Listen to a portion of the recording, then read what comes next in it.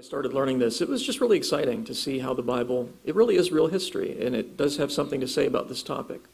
And the Bible's not just any history book, it's the Word of God, of course, which is unique. So, it's helpful for Christians to know something about this topic. And it's, it's, a, uh, it's an exciting topic. It's one that people tend to gravitate toward because most people have an interest in dinosaurs and a lot of the blockbuster movies, the Jurassic Park, Jurassic World movies, very successful uh, because it's a fascinating topic. There are these amazing animals that once lived on this planet, and they're not around anymore, as far as we know. So, how do we account for that? How do we make sense of that? Uh, youngsters really like dinosaurs, and so this is a topic that if you want to get your youngster interested in Scripture, this might be a good topic to start with. So let's dive right in. It's always helpful to define our terms. What are dinosaurs? Dinosaurs are, you know, they're reptiles, so they're scaly creatures, but they're different from modern reptiles in a couple of ways. First of all, dinosaurs tended to have large um, holes in their skulls, uh, besides just you know the eye sockets and so on. But they had these large holes in their skulls, perhaps to reduce weight. The main characteristic, however, that makes dinosaurs different from any modern reptile is the structure of their legs. Dinosaurs had their legs underneath their bodies, at least their back legs, underneath their bodies, kind of like the way we're built as opposed to modern reptiles that have their legs out to the side in a sprawling position, if they have legs. We have snakes, of course, that don't have legs. But uh, modern reptiles, modern, uh, anyone that you can think of, their legs are out like this. Think of a crocodile, something like that. And that's a good structure if you want to be able to sprint very quickly over a short distance, if you want to lunge at something. And so uh, modern reptiles have that design. Dinosaurs were designed differently. Their back legs, are were underneath their body like like us, and that's better for long distance travel. So dinosaurs were perhaps better long distance travelers than their uh, the modern reptiles that are still around. So my point is they're not because sometimes people ask, is a dinosaur just like an alligator that got really big over time? No, they're structurally different. They're a different uh, kind entirely. And when we look at dinosaurs, as when we look at any topic, we can look at it from the perspective of secular understanding of things or biblical understanding of things. Those ultimately are your two choices. Uh, I mean, there are other religions, but they are really similar to secular humanism in, in most respects. But in any case, uh, when we, when we, the way most people look at dinosaurs, because they've been trained to think that way, is in terms of millions of years of evolution. And so my secular colleagues, when they come and they look at dinosaur fossils, they already have a view in their mind about what those mean and how they were how they were formed and so on, because they believe that life came about gradually over hundreds of millions of years, animals evolving from other animals, and then in the struggle for life, some of them go extinct and new forms evolve and so on. And so when they look at dinosaur fossils, they have that view in their mind. And that affects the conclusions that they draw from those fossils. It really does. And I don't fault them for that. We all have a worldview, but we need to give some thought as to whether that worldview is rational. And I would argue the biblical worldview is. It's the basis for logic. We found that in the first session. So, in the biblical worldview, uh, I, when I look at dinosaurs, I look at them from the perspective that the Bible is true. It's the real history of the universe. And so we like to summarize that history with what we call the seven C's just a nice way of remembering biblical history, seven words that start with the letter C. So we have creation, where God created a world that he himself called very good. So it wasn't it didn't have the death and suffering that we have in today's world. It was a very good world originally.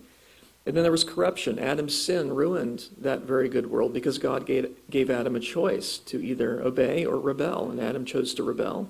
And the wickedness came into the world as a result of that. And so the world today, it's not very good. We've got some problems in the world today. We've got disease, we have death, and so on. Then there was a catastrophe where the wickedness of mankind became great, and God judged the world by sending his cataclysmic worldwide flood that wiped out all life. But Noah found grace in the eyes of the Lord, and so he and his family were spared. They were, they were. Um, God told him how to build that ark to survive, and along with two of every air-breathing land animal were, that were aboard that ark.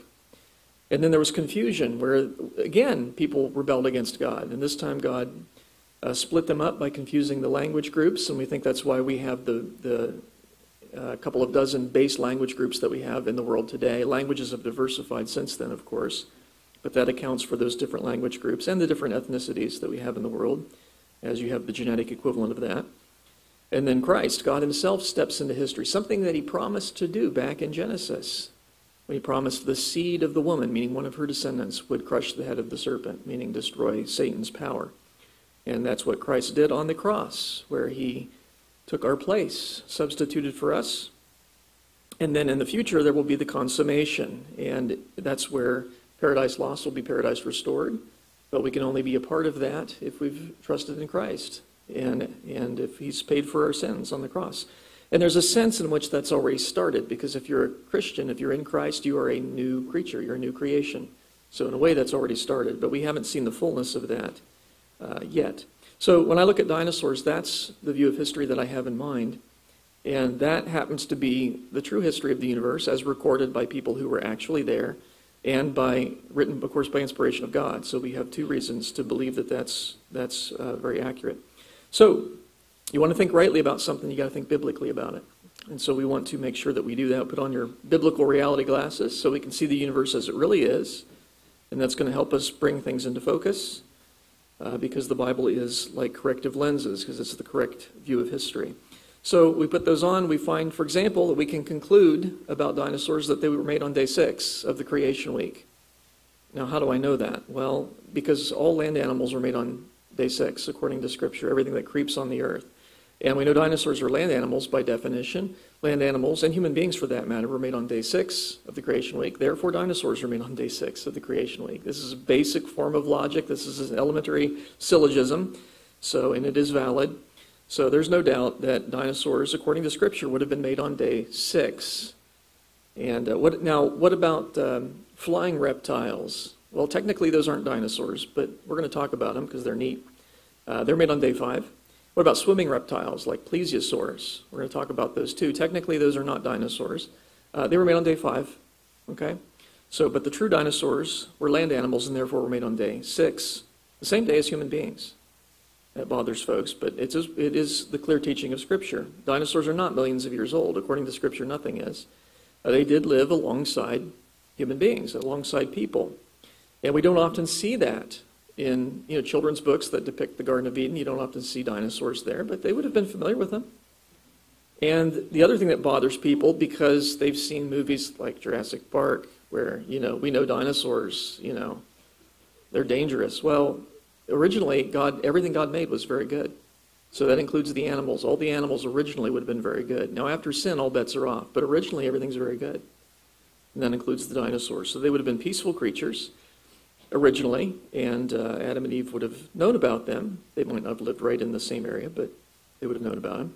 There's another way you could know that dinosaur fossils are not hundreds of millions of years old, and that's because, according to Scripture, death came into the world after and as a result of Adam's sin.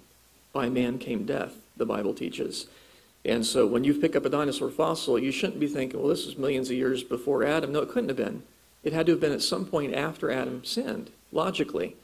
And so, uh, and a good uh, event that would kill lots of organisms, and bury them quickly, the worldwide flood would make sense of that. So, yeah, so they came in, it has to be after, it's some point after Adam sinned, any of these fossils that we find, because a fossil is a dead thing. And death came into the world by Adam's sin, therefore it had to have been after Adam sinned. People say, oh, but they can radiometrically date fossils. Actually, they don't. They date, they date rocks that surround the fossils and so on. But people have this misconception that when you dig up a fossil, it comes with a little label telling you how old it is. They don't, okay? They don't come that way. You might have seen fossils with labels attached to them in museums.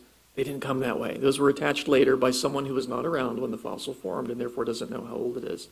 And I'm happy to talk about things like radiometric dating and things like that because um, that's physics and it's something that I find very interesting. But the bottom line is you can't tell how old something is just by looking at it, really.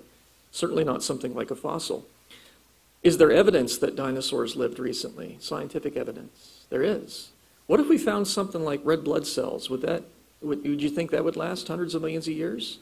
No, because we have found stuff like that. Um, soft tissue has been discovered in uh, a number of dinosaur bones. So, and, and that's what you're seeing there. Those are actual images from a T Rex femur. That's one of the leg bones of a Tyrannosaurus, and that's soft tissue.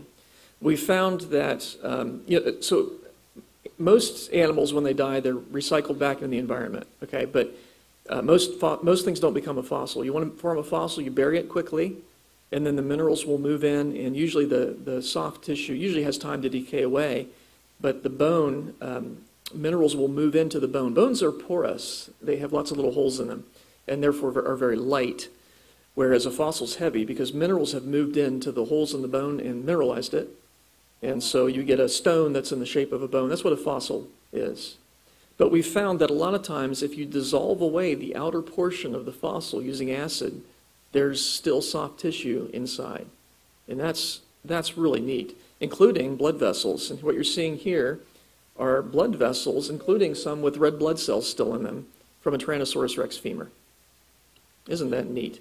And I think it's, it's by divine providence that it was actually an evolutionist who made this discovery. Uh, Dr. Mary Schweitzer, she was very honest about her discovery. And I think that's neat because if we creationists had discovered that, everybody'd cry foul, right? They said, no way, you're faking that. There's no, because they can't last that long. But it was an evolutionist who made that discovery, and she reported it honestly, and I'm glad she did. So she was doing good science there. So there you go, red blood cells in a Tyrannosaurus rex uh, femur. Pretty neat. And of course, that's not going to last hundreds of millions of years. Soft tissue doesn't do that. Uh, did dinosaurs evolve? Well, we know from Scripture they didn't. And, and we got to be clear on definitions. We don't want to commit the equivocation fallacy, right? Things do change over time. The modern dogs we have today, the modern breeds are recent, but dogs go back to creation. And likewise, dinosaur, uh, you can get different dinosaur varieties within a kind, but the kinds themselves did not evolve. And frankly, any evolutionist who's honest about that, honest about what we fall, see in the fossil record, would admit that. Because this is from actually from an evolutionist textbook. This is the, the family tree of dinosaurs, the way that evolutionists think that they branched from one kind to another. And this represents how far down we find them in what's called the geologic column, which is a, represent, it's a representation of the orders in which fossils typically come. We find that some fossils are typically found below other types of fossils and so on. And so you, you build this up. It's kind of an abstract concept, but it's useful. And so they, the secularists would say this represents how many millions of years ago these things lived. Whereas we would say, no, it's just they're buried earlier in the flood as opposed to later in the flood. But in any case, um, you notice the footnote there. It says highlighted areas indicate solid fossil evidence. So the areas that are in light blue are the places where you find, where you actually find the fossils. Where's all the branching, the evolution happening? All the places you don't find fossils. Isn't that interesting? And they're just reporting that very honestly. So we do find evidence of changes within a kind. We don't find evidence of changes between kinds. And that's typical. That's, that's really what we find throughout the fossil record, not just in dinosaurs, but in other creatures as well. There's always going to be a handful of disputed specimens, which the evolutionists themselves end up rejecting a few years later. But this is the rule we find uh, variation within a kind, which is what we creationists would expect. So there you go. So they didn't evolve. What do dinosaurs eat? Now, there's a subject that we like to think about. Uh, now, you know, because again, we've seen the movies. We know what they eat because we, we've, we've watched Jurassic Park. So there you go. We know they're eating, that T Rex would have been eating these other animals. Of course, we now know that dinosaurs lived at the same time as people. So is Adam on the menu? Yeah, yikes. Well, Let's consider a Tyrannosaurus rex, for example. He had teeth up to six inches long with a serrated edge. How would the first T Rex have been described? The first of that kind. How would he have been described? Would he have been a plant eater, a meat eater, a scavenger, or a plant and a meat eater? Now, most people, when I ask that question, they say, well, it's a meat eater, right? We know that. Because again, we've seen Jurassic Park. We know what T Rex eats. He eats lawyers, right? We get that. But according to Scripture, they would have been plant eaters. That really bugs people because of those teeth. But it, it is what the Bible teaches. Genesis 1 29 through 30, God speaking to Adam and Eve, and God said, See, I've given you every herb that yields seed, which is on the face of all the earth, and every tree whose fruit yields seed, to you it shall be for food. Verse 30, also to every beast of the earth, to every bird of the air, and to everything that creeps on the earth in which there is life. Would that include dinosaurs? Are they part of everything? Yeah, everything's part of everything, of course. So I says, I've given every green herb for food, and it was so. Oh, so originally plants are what all dinosaurs would have eaten. Even the ones we today think of as carnivores, they would have originally been vegetarian, as all animals were at the beginning. So that T Rex is eating plants. We know that from Scripture. Dinosaurs were originally vegetarian. So he's thinking about eating this kind of stuff. And that does bother folks because of those sharp teeth, right? And indeed, T Rex, there's no doubt he had six inch serrated fangs, perfectly designed for ripping and tearing into watermelons and cantaloupes and all kinds of, all kinds of fruits and vegetables. Because if you think about it, there are certain plants that um, require something like a sharp tooth to, to get into them. And we think of a watermelon as soft, and it is once you get to the inside. We take something like a sharp knife, kind of like a sharp tooth, to cut it open, right, to get to the soft stuff on the inside. T Rex could bite right into one, and it wouldn't be a problem for him. Not at all. And by the way, there are animals today that have sharp teeth that are either entirely or primarily vegetarian. This particular primate is primarily vegetarian, only occasionally supplementing his diet with meat, and yet he's got sharp teeth. There are monkeys in Ethiopia. The males have these large fangs. And you think, well, surely those are meat eaters. They're not. They're plant eaters. They're vegetarian. The grass eating monkeys of Ethiopia. You say, well, what are those long teeth for then? I don't know, but they eat plants. Okay? They eat grass and stuff. So um, here's the skull of a particular creature that you look at the sharp teeth on that thing and you think, well, that thing's got to be a meat eater, right? But he's not, and we know that because this species is still around today. This is the skull of a fruit bat. Fruit bats eat fruit, turns out. Yeah. Now, obviously, at some point after sin, and it would have to be after sin, that some animals, some animals became meat eaters. Why after sin? Because when you eat meat, you're eating a dead thing. Hate to break it to you. That's what meat is, right? And there was no death before Adam sinned. So there would have been no meat to eat before Adam sinned. Okay, so of course they, you can't be a meat eater back then. Now, by the way, if you had a hot dog for lunch, that's okay. Because after the flood, God gave human beings permission to eat meat. In Genesis 9 3, he says, As I gave you the plants, and I'll give you everything that creeps on the earth, which is kind of what a hot dog is. So there you go, okay? So you're okay. And, and some, at some point, some of the animals started eating meat because they do today. And we don't know exactly when that happened, but it would have been after sin, obviously. But it's interesting that even today, there are animals that we think of as meat eaters that will go back to their pre fall vegetarian diet. Did you know that? Like lions, for example. We know lions are meat eaters, right? Well, there was a, a female lion named Little Tyke that went her whole life raised in captivity, and she went her whole life without ever eating meat. Isn't that interesting? There she is with one of her uh, caretakers. It's the way all animals would have been before sin entered the world. They would have been peaceful creatures. Now, they would try to give little tyke meat. And You can see them trying to give her meat there, because everybody knows that lions need meat to live. Well, she didn't know that. And she, you can see she's turning away from it. She doesn't even like the smell of raw meat. Uh, she would drink milk, however, so she's not vegan. She would at least drink uh, milk. Well, she's a mammal. We expect that. That's fine. So, isn't that interesting? And uh, it reminds us there are certain passages in Scripture that predicted this. In Isaiah 11:7, the lion shall eat straw like the ox. Isaiah 65:25. Isn't that interesting? The Bible predicted a time when animals that we think of as meat eaters would go back to their pre-fall diet, and we're seeing that now. We're at least the beginnings of it. Well, okay. Why don't we find the word dinosaur in the Bible? Is a question I get a lot because we've learned so, so far, all the things we've learned are implicit. They would apply to all land animals. All animals are meat on day six. All were vegetarian, and therefore the dinosaurs were too. But why don't we find the word dinosaur in the Bible? And there's a very obvious reason for that. The word dinosaur is a modern word. It was invented in 1841 by Sir Richard Owen. And so when the Bible was translated into English, and there have been a number of early English translations, there was the Wycliffe version in the 1300s, the Geneva Bible, 1560, the King James comes along in 16 or Geneva is 1560. The King James comes along in 1611. No, all those early versions of the Bible are not going to have the word dinosaur in it because the word dinosaur didn't exist. It was invented by Richard Owen in 1841. He was a creationist, by the way. And uh, it means terrible lizard. That's what dinosaur means, terrible lizard. So, of course, you're not going to find the word there, but you will find the word dragon in many English translations of the Bible. And if you think about what a dragon is, it's pretty much how you would, that's the ancient word that would, you would have used to describe anything like a dinosaur. And probably it's generic and would have, used, would have been used to describe other things that are not true dinosaurs, like plesiosaurs, which are aquatic, uh, for example. The Hebrew word that is translated dragon is tanin.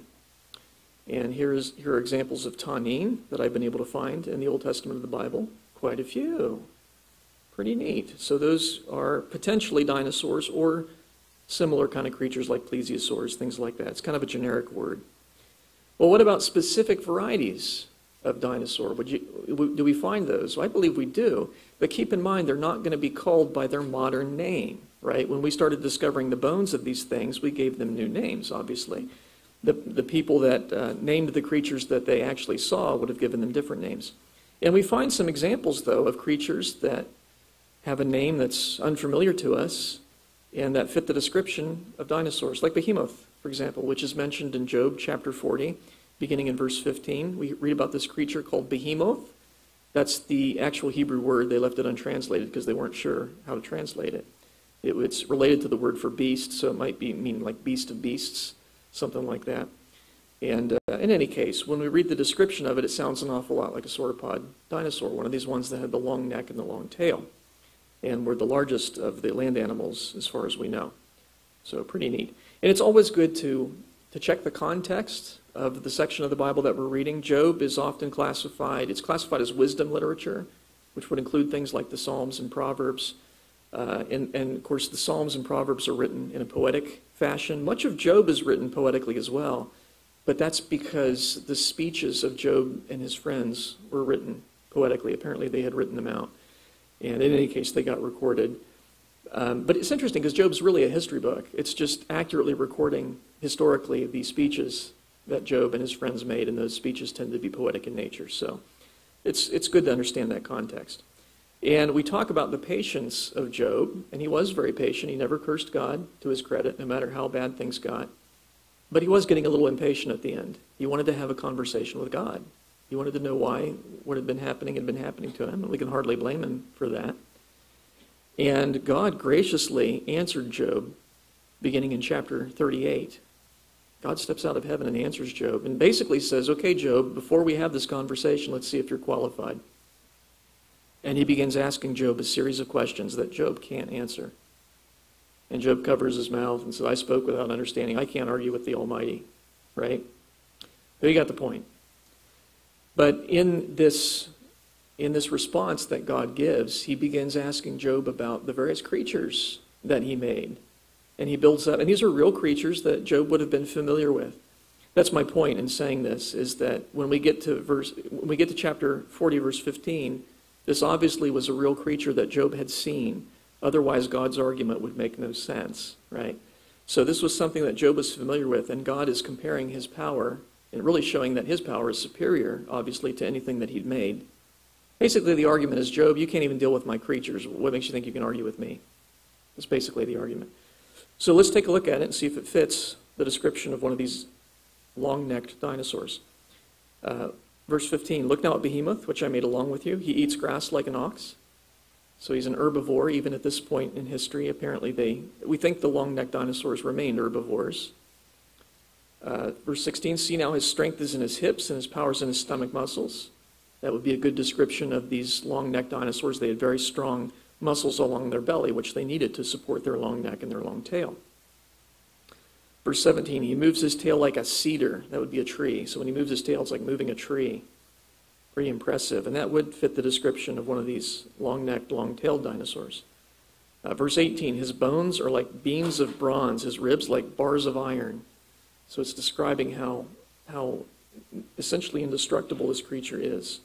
Verse 19 he, he is the first of the ways of God, perhaps indicating that he's the most impressive or largest thing that God made. And we do think that the long necked dinosaurs were the largest land animal that God created. The largest animal that God created is still around. It's the blue whale.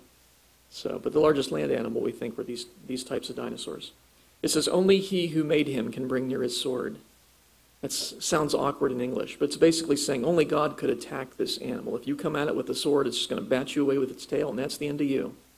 Okay, so it's an impressive creature, whatever it is. And it does seem to fit the description of one of these long necked, long tailed uh, sauropodomorph type dinosaurs, because those tails would be like a cedar tree when they moved. It would be massive, like a tree trunk. Now, some people, well, actually, some Bibles even, in the footnotes, they'll have behemoth and they'll have a footnote, possibly an elephant or hippopotamus. Now, the thing you need to remember about your footnotes, the footnotes in your Bible, they're not inspired. Okay, it's the text that's inspired. The footnotes can be wrong. Um, could this be an elephant or hippo? Well, does an elephant have a tail like a cedar tree? No, it does not. It has a tail like a little rope. Does a hippopotamus have a tail like a cedar tree? No, it does not. It has a tail like a little flap. Okay. So when I'm doing this one for uh, the youngsters, I like to say you could imagine an elephant or a hippo with a tail like a cedar tree. That's not going to work out so well. So yeah, that's rather silly. So I don't, I don't know for sure that behemoth is a, a sauropod dinosaur. I just know it doesn't fit the description of an elephant. It's not an elephant or hippo because they don't have a tail that moves like a cedar tree. So, but it could very well be a sauropod dinosaur. In the next chapter of Job, we read about a swimming creature. So I don't think this is a true dinosaur, but I do think it's something like a plesiosaur, one of these swimming creatures that had the four uh, flippers and lived in, in the lakes and oceans, perhaps. Yeah, but air breathing, so they are reptiles. And when we read the description of it, it's impressive. Verse 1 Can you draw at Leviathan with a hook or snare his tongue with a line which you lower? That's a rhetorical question. God's saying, Can you fish this thing out like you would catfish? Of course not, right? Verse 9 Indeed, any hope of overcoming him is false. Shall one not be overwhelmed at the sight of him? Verse 10 No one is so fierce that would dare stir him up. Who then is able to stand against me? You see the argument God's making? You can't even deal with my creature. What makes you think you can stand up against me? Verse 15 is rows of scales or his pride. So it's a scaly creature, it is a reptile. One is so near another that no air can come between them.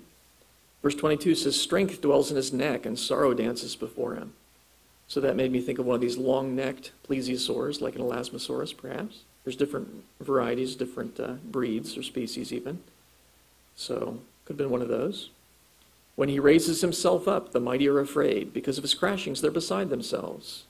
When he raises himself up, apparently this thing could come near the shore and raise itself up, and it was terrifying to uh, human beings because it was a mighty creature, whatever it was.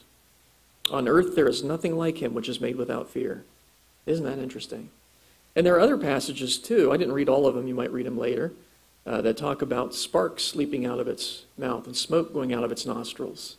And people, here's where people really get incredulous. They'll say, "No way! Not, it's not only is it a dragon; it's a fire-breathing dragon." And they say, "You can't have that." And then my follow-up question is, "Why not?" Right? Because there are some amazing animals that the Lord made that have, that have some amazing abilities. There's a bombardier beetle that mixes a couple of chemicals with a catalyst in its abdomen. It's able to produce a hot spray protect, to protect it from predators. There's no reason why God couldn't do that with a larger animal, right? So the chemistry is there. You just need something to ignite it and to protect him from his own flame. There's, it's, there's nothing uh, insane about that chemistry. There are all kinds of amazing animals.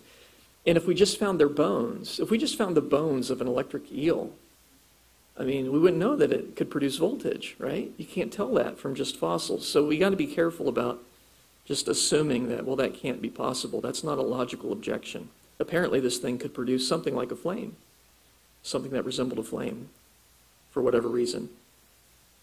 What about flying reptiles? They are mentioned in the Bible. Isaiah chapter 14, verse 29 talks about a fiery flying serpent. Isaiah chapter 30, verse 6, fiery flying serpent. Isn't that fascinating?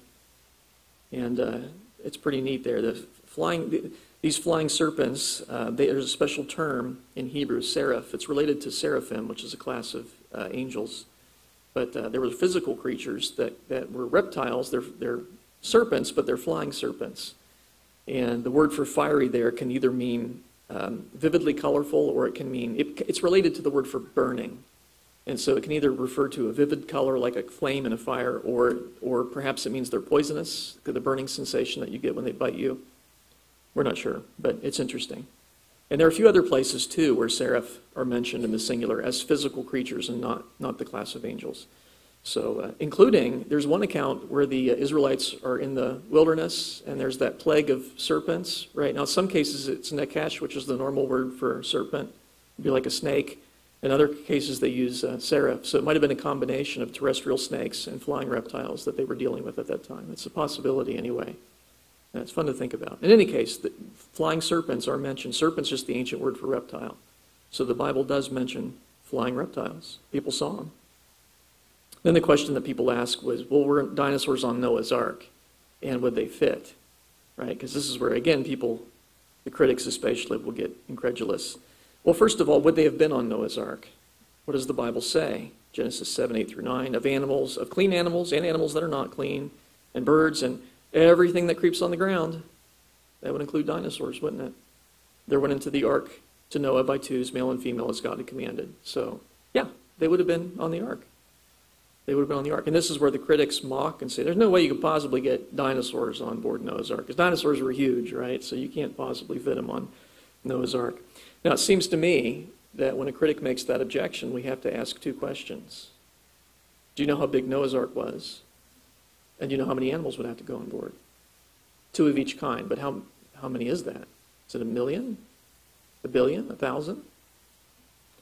And the funny thing is, most critics don't know how big Noah's Ark was, although the Bible does give you the dimensions. And then most critics don't know how many animals would have to go on board. But they're just convinced that you can't possibly get all those animals on board Noah's Ark. But my point is, that's not a logical objection, isn't it? Is it? That you can't possibly fit an unknown number of animals on a boat of unknown size. That's not a logical objection. Uh, we need to go through and do our math. So how big was Noah's Ark? Well, 300 cubits by uh, 50 by 30. We, a cubit's the distance from your elbow to the end of your hand. Now that's a little different for different people, isn't it? And so there's, there's a little bit of leeway there, but this would be the smallest possible cubit. Uh, this would be a 17 and a half inch cubit. We think 18 inches would be more, more realistic. A foot and a half is a cubit, basically. So Noah's Ark would have been realistically 450 feet by 75 by 45. Could have been a little bigger than that uh, depending on what you assume for the cubit. But that's the approximate size of Noah's Ark. See, people have misconceptions of Noah's Ark, and I'm sorry to say that some of that's promoted even in Christian children literature, where it's depicted as this little bathtub thing with all the animals jam packed on board, and they're all happy and smiling, even though the world's being destroyed. I never did quite get that. But that's not the real ark. The ark that the Bible describes was massive. It had the same capacity as 522 railroad stock cars. And, you know, of course, um, the ministry Answers in Genesis, run by Ken Ham, they built a replica of it, and it's something to see. When you're there, you realize that thing was massive. And uh, it, it, was. 522 railroad stock cars. You ever counted the cars as they go by the tracks? I've never counted 522. That's pretty impressive. So, you could imagine Noah's shock and disappointment if God told him to build a little bathtub ark, but no, God told him to build an ark that would survive a worldwide flood. Uh, little bathtub arks would not survive a worldwide flood. They tip over very easily. The ark that God designed is designed to weather a worldwide flood. We've had engineers that have studied it, like Tim Lovett, for example. He did this wonderful study on the ark, and he found if you change the dimensions, any, from what the Bible describes, it makes it worse. The, the, the ark that is depicted in the Bible, the dimensions are ideal for weathering a worldwide flood in terms of stability, comfort of ride, in a, you know, not wanting to capsize, and so other, and, and, and things of that nature. So. So Noah's Ark, huge, much bigger than people think it was. It was big, but was it big enough? How many animals would have to go on board? And this is where people get a little bit confused because they think, well, you know, you need two of each kind, but a lot of people don't know what a kind is, and they assume that it's either a species or a breed or something like that. But no, you, Noah did not need to take two Dalmatians, two deerhounds, two beagles, two kelpies, two collies. He certainly didn't need two poodles on board the ark, right? He just needed two Dogs, yeah. Two dogs. And you can get all those breeds later. These breeds are recent. Like golden retrievers, I love golden retrievers, but they weren't around 200 years ago. It's a modern breed. And we understand genetically how that works. Uh, natural processes, along with created heterozygosity, where you have um, differences in the genes from the two parents. I, I won't go into details, but that's how you get these different varieties. Now, they're still dogs. But my point is, you just needed two dogs on Noah's Ark. You need two cats on Noah's Ark. Two. So that, uh, that big African lion and the little thing that you pet when you come home, they were both descended from two cats that were on Noah's Ark. Okay? Believe it or not. Cats have diversified since creation and since uh, the flood even. And a colleague of mine, Dr. Nathaniel Jeanson, who's PhD in biology from Harvard, he studies these issues and he's done some fascinating work on genetics and how we get speciation after the flood. They're still the same kinds, but you can get new species. That's not a problem. And my point is, it's the same with the dinosaurs. There are thousands of dinosaurs, but a lot of them belong in the same kind, the ceratopsian kind. So Noah didn't need two Triceratops, two Eoceratops, two Torosaurus, two Monoclonius, two Pachyrhinosaurus. He just needed two of the ceratopsian kind, and you can get all those breeds later. It's not a problem. And so, although there are thousands of dinosaur names, we think there are only about 60 dinosaur kinds. Okay, so that's the, the, the basic family that they fall into. And so if there are 60 dinosaur kinds, two of each kind, because dinosaurs would have been part of the unclean varieties. So that means there would have been 120 dinosaurs on Noah's Ark. Not thousands, 120. And we can add those up along with the other animals. John, these are John Woodmorappe's numbers. He did a study a while back. So over 7,000 mammals, 4,600 birds, reptiles, including the dinosaurs, 3,700 and some. And it's an approximate figure because we're, we're trying to include for extinct species, and it's hard to know that there, you know, there might be some we haven't discovered. But there would have been around 16,000 animals on board Noah's Ark. And Woodmorappe's numbers are um, conservative toward the, toward the critic in that they're kind of an upper limit. The true number would probably be a little less than this. Okay. The other thing to remember, because people think, yeah, but 120 dinosaurs, dinosaurs are big. Some dinosaurs are big. Some dinosaurs never got bigger than a dog. Some never got bigger than a chicken, like little Compsognathus. It was never, it never got bigger than chicken. But it's a dinosaur because it's a reptile and the legs are underneath its body. And that makes it different from modern reptiles, you see. And so, take a look at this uh, dinosaur skull. Not all of them were huge, folks. Some of them were huge. The other thing to remember is even the largest dinosaurs that existed on this planet started out very small. Right? The largest dinosaur eggs we find are just a little bigger than a football. And it turns out you can't make an egg bigger than that for physics reasons, because you'd have to make it, in order to support its own weight, you'd have to make the shell thicker. And if you make the shell too thick, you can't get oxygen in. And so that's a problem.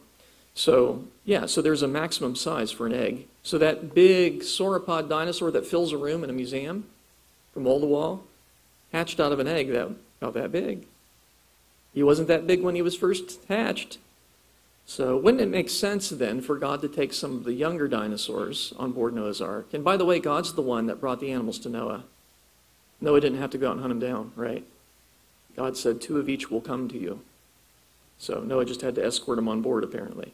But in any case, uh, wouldn't it make sense for God to select some of the younger dinosaurs that maybe had not reached their full size yet? Yeah, that would make sense.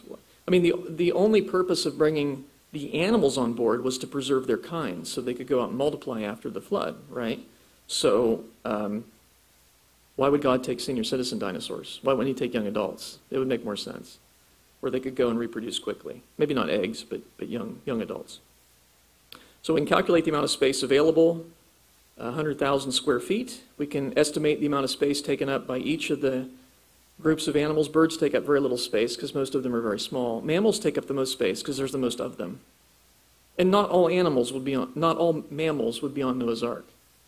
Because whales are mammals. They would not have been on the ark, right? Because they're oceanic creatures. It's only land animals. So, yeah, dolphins, things like that would not be on the ark. So, reptiles, those that are that can that cannot survive off the ark, they would have been part of those uh, part of the reptiles number there. 15% uh, for a grand total 46.8%. So when we do the math, there was plenty of space on board the ark. And I've seen other estimates too that get it down to 30% even. So, you, I mean, that's pretty neat because you could fit all the animals on one deck because there were three decks to the ark. And if, it, if they take 30% of the space, you could put them all on one deck. That would leave a deck for Noah's sons to play football, and it would leave a deck for Noah and Mrs. Noah to play shuffleboard. So there was plenty of room there. But uh, in, in, any case, then the question, why so big? Well, it, they had to take supplies with them. They had to take food and things like that. Anything they wanted to bring with them, they couldn't go back. That pre-flood world was destroyed. I think there was room for more people as well. The Bible says Noah was a preacher of righteousness. So he was out there preaching, hey, God's, God's wrath is going to come, but you can be saved. Come on board the ark and be saved. And people mocked him until the flood came and they drowned. So I think there was room for more people. Now, God knew how many people would go on the ark, but Noah probably didn't. And so it might have been big enough to accommodate more people. In any case, there's plenty of room. And, and by the way, this is something too, because we, we do have some youngsters here today, and that's great. Because sometimes youngsters will ask, you know, in their math class, when am I ever going to use this stuff? Well, here you go. Right? I can refute the critics here because I've done I've run the numbers. And they haven't. So they're making a claim in ignorance, and I'm responding with knowledge.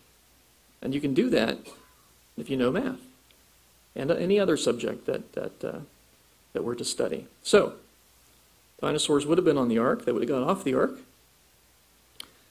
So, granted, the flood wiped out almost everything, but there were representative kinds on board the ark, which means dinosaurs would have existed even after the flood. to some extent. The book of Job was written after the flood by about 400 years. And that's where we find about, you know, Behemoth and Leviathan. So anyway, um, but, but keep in mind, they're not going to be called dinosaurs. We, we might find legends of creatures resembling dinosaurs, but they won't be called that because that's a modern word. They'll be called dragons. Do we find legends of people encountering dragons? Oh, yes. Oh, yes. All over the world. And if you think about what a dragon is, that's kind of what we would use to describe, that's what the ancients would have used to describe any dinosaur they would have encountered. They would have called it a dragon. There's the legend of St. George and the dragon. There was a town that was being victim, victimized by a dragon that was coming in and eating their livestock. And the legend says that the people were going to sacrifice a young lady to this creature, hoping that it would leave them alone. But St. George rides in on his horse and kills the dragon and preaches Christianity, and many people convert. That's a very popular uh, story. And we have found fossils of certain dinosaurs in the region where this story was to have taken place. So, including, I believe, Allosaurus fossils. So, that's the legend of St. George and the dragon. Now, it's not in the Bible, so we don't know it for sure, but it could have happened just like that, just like the legend says. Marco Polo in AD 1271 reported that the Chinese royal chariots were occasionally pulled by dragons. Isn't that interesting? And oh, there are lots of legends of dragons in China. You'll find it all over China. It's on their pottery and everything. It's just amazing. And uh, apparently, if the, these dragons were relatively rare at the time, and so it was the thing to do if you were wealthy or royalty, was to have your own and raise your own uh, dragons. Pretty neat. We know from records that in the year 1611, the Chinese emperor appointed the position of royal dragon feeder. There was a job where your job was to feed the dragons, which makes me think they probably had some. So, yeah. There's a city in France that was renamed in the honor of the killing of a dragon there. The animal's described as being larger than an ox, armored, and had horns on its head. Interesting. There was a, there's a town in Italy where a, a peasant was walking with his uh, oxen. They were pulling a cart, and he was kind of walking behind them. And they stopped because there was this little hissing dragon on the road up ahead of them. This is not one of the larger ones, this is a small one, but it's very brave. And it was hissing at them, and the oxen were afraid of it. And the man had a staff with him, and he ended up killing this creature, striking it and killing it. And then he brought the body in to a local scientist named Ulysses Aldrovandus. That's why we have such good records of this. We know when it happened. We know it happened on May 13th, 1572, around 5 o'clock p.m., because the, uh, because the scientists documented the details of this. And he described it so accurately, we think we know what species it is. We think it's a Tanystropheus. And that's something that evolutionists believe have been extinct for millions and millions of years, except people apparently saw them. What about flying reptiles? We have lots of records of those as well and they appear to be uh, Rhamphorhynchus. Rhamphorhynchus is a genus of a flying reptile that had, they were relatively small, but they had a very long tail. Um, there, are other repti- there are other flying reptiles like pterodactyloids that had huge wingspans, but they had a very small tail. So we think these are Rhamphorhynchus. And the detailed reports of these eyewitness reports go back 400 BC up until about 1600 AD, and they stop. Uh, Herodotus, one of the Greek historians who confirmed some of the events of Scripture, he said there's a place in Arabia, he said, where I went to learn about the winged serpents. He had heard that there were these flying reptiles. He wanted to see them. And so when he arrived there, he found a valley full of dead, apparently Rhamphorhynchus, flying reptiles. Uh, pretty, he says, he, he, um, when I arrived there, I saw innumerable bones and backbones of serpents, many heaps of backbones, great and small and even smaller. Winged serpents, that would be the ancient way of saying flying reptile. Winged serpents are said to fly from Arabia at the beginning of spring, making for Egypt, but the ibis birds encounter the invaders in this pass and kill them. Isn't that fascinating? He says the serpents are like water snakes. Their wings are not feathered, but very like the wings of a bat. He's going out of his way to say this isn't a bird. This isn't something that has feathers. The, wing, the wings are like a membrane type material, like a bat would have. And so it's a flying reptile. And again, the reports go up to about 1600 and then they stop, so we think we know when this went extinct. And it wasn't millions of years ago, it was about 400 years ago which I think is fascinating. Uh, there are certain ancient coins that will depict what appears to be a serpent with wings on them. So people drew these as well. Now, you might know that sometimes in the past, some people lived in caves. And sometimes people ask me, Do you believe in cavemen? Do I believe that men lived in caves? Yes. Some do today, right? So, yeah, In fact, if you read uh, the account in Genesis, um, Lot, Abraham's nephew, lived in a cave for a while. So he was a caveman for a little while. And people would paint on the cave walls. I always thought it was the kids that did that, but I don't really know. Uh, in any case, they would paint things like buffalo and people, and occasionally they'd paint things that look an awful lot like dinosaurs. Now, this is before any dinosaur fossils had been found. Dinosaur fossils were found in the 1800s. So apparently, the people that were drawing these, which is much earlier, had seen the living creatures. There are ones that look an awful lot like sauropod dinosaurs, the ones with the long neck, the long tail. Now, we've, out, we've enhanced the outline on the PowerPoint on the right. Otherwise, it doesn't show up well in PowerPoint. But once you see it on the right, you can see it on the left, too. And then there's another one. This is from Natural Bridges National Monument, Utah. People have visited, said it's just obvious when you're there, but it's kind of hard to photograph. But it's the long neck, the long tail, the four legs. There are sculptures in France that are uh, large reptiles of some sort. Could, be, could well be dinosaurs. They call them salamanders, but you can tell they're reptiles. There's scales on them. And here's one that's fire breathing. And they do match uh, known types of dinosaurs fairly well. Uh, Vance Nelson has a wonderful book that covers a lot of this material. There's ancient tapestries that people have uh, weaved, and they depict animals that look an awful lot like certain kinds of known varieties of dinosaur. Pretty, pretty interesting. Uh, this particular sculpture, this is from China. It's thought to be about 4,000 years old. So this would go back to the time of Abraham and, and Job, for that matter. And it looks an awful lot like one of the ceratopsian type dinosaurs, like a Centrosaurus. It's really quite astonishing. There's another one, also thought to be about 4,000 years old, also from China, and it resembles a Protoceratops. They were a ceratopsian, but they didn't have horns. They just had the, the plate there. Uh, Bishop Bell's tomb. This is in Carlisle Cathedral. And we know when the guy died, he died in 1496, and that's when this tomb was put in place. And so this was before any dinosaur fossils had been found. They, weren't, they wouldn't be found for another several hundred years. And you'll notice that along the sides of that and the top, there are these brass strips. You see those there? There's one along the bottom too, but it's been worn off with time because there's a carpet that goes over this, and people walk along the carpet, apparently along the bottom section there. And so it's, it, the bottom one's worn off. But the other three have carvings of animals in them. And you can see some of those there. And they're, you know, obvious animals bats, dogs, fish, birds, and these guys. Isn't that interesting? And we can zoom in on them a little bit for you there. Isn't that fascinating? Long neck, long tail. There's, there's nothing like that around today. There's a temple in Cambodia. I think this goes back to the year 800, if I'm not mistaken. And it has carvings of human beings and various animals, including this one, which is interesting because it looks like one of the uh, stegosaur type uh, creatures, which I think is very fascinating. So, pretty neat. So these, you know, we're talking hundreds of years ago, not even thousands in many cases, let alone millions. The Australian Aborigines have a painting of a creature they believe still lives in, uh, in Lake Galilee in northern Queensland of Australia there. And they call it Yaru. That's their name for it. That's their painting of it. And apparently that one had died, and they've opened up the digestive tract there. So pretty neat. And it, you can see it's got flippers and the long neck, the long tail. Looks like a plesiosaur, but they call it Yaru. And they think it's still alive, which is interesting. Or at least that kind, that variety. The, the natives in the African Congo have a creature that they claim to have seen as recent as 1990 that resembles a sauropod dinosaur. They call it Mokele mbembe. That's their name for it. And if you show them a picture of a sauropod dinosaur, they'll say Mokele mbembe. If you show them a picture of a bear, they'll go, because they don't, they've never seen one of those. But this creature is said to uh, kill elephants. So whatever it is, it's massive. And you say, why would it kill elephants? Aren't they herbivores? Yeah, but they might be. They might have been territorial. I mean, we don't know.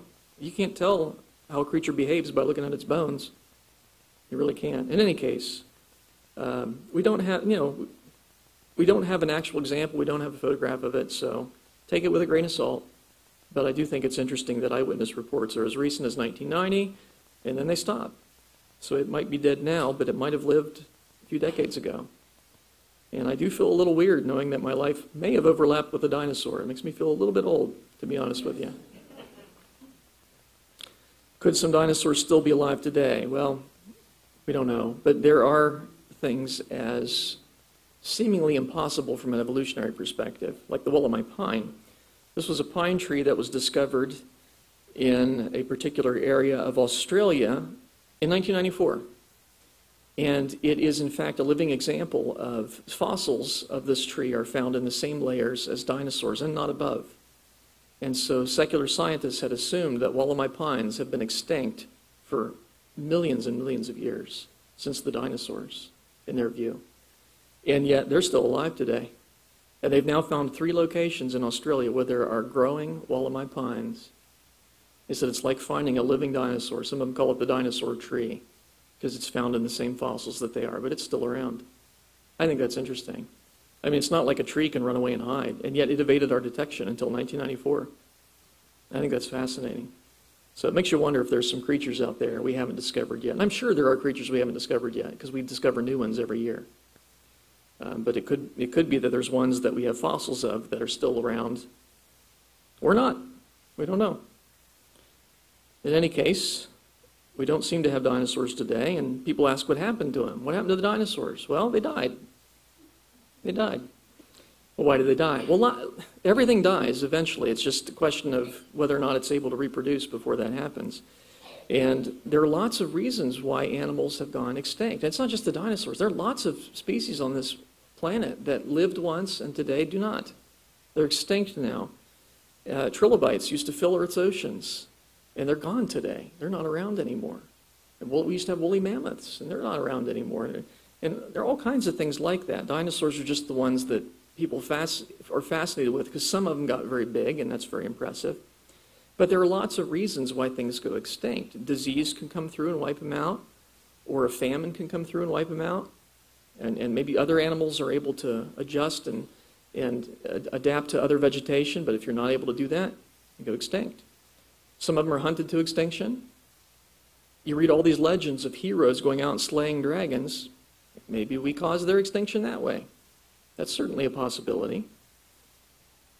But ultimately, the reason things go extinct is because sin entered the world. When Adam sinned, that brought death on everything in creation. And it bothers folks. Why do animals have to suffer when Adam sinned? Because Adam was given charge over the animals. That's the nature of authority. That's the way it works. Just like when our government does something stupid, we all suffer as a result of it because we're under their authority, whether you like it or not.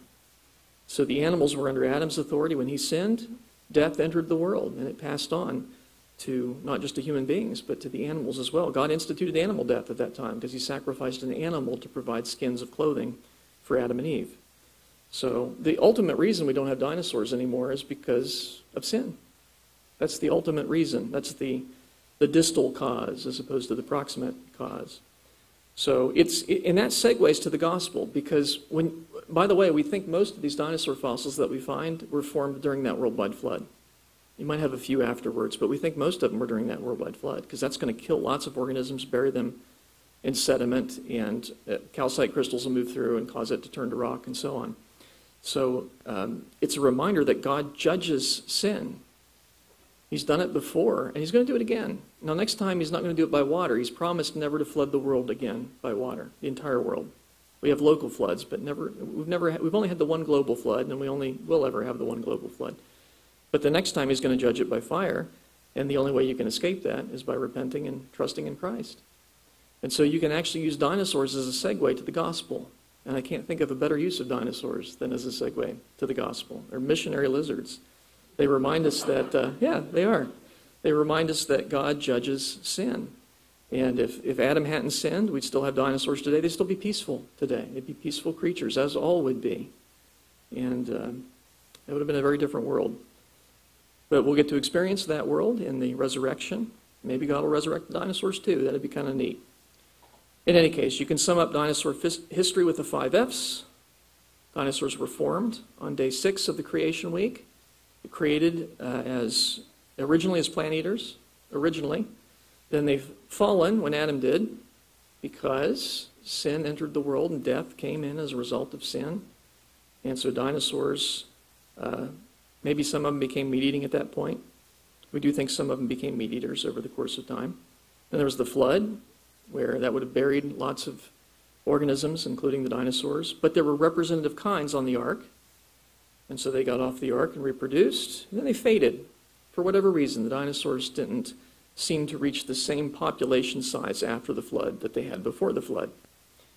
And so eventually they're passed down by word of mouth. Maybe some of the stories are combined or distorted a little bit into our modern conception of a dragon, which sometimes some of our modern dragons combine different varieties of dinosaurs and flying reptiles and things like that. So, and then finally, dinosaurs were found. They were rediscovered in the 1800s when we started finding fossils of these amazing creatures and realized there were some amazing animals on this planet at one point.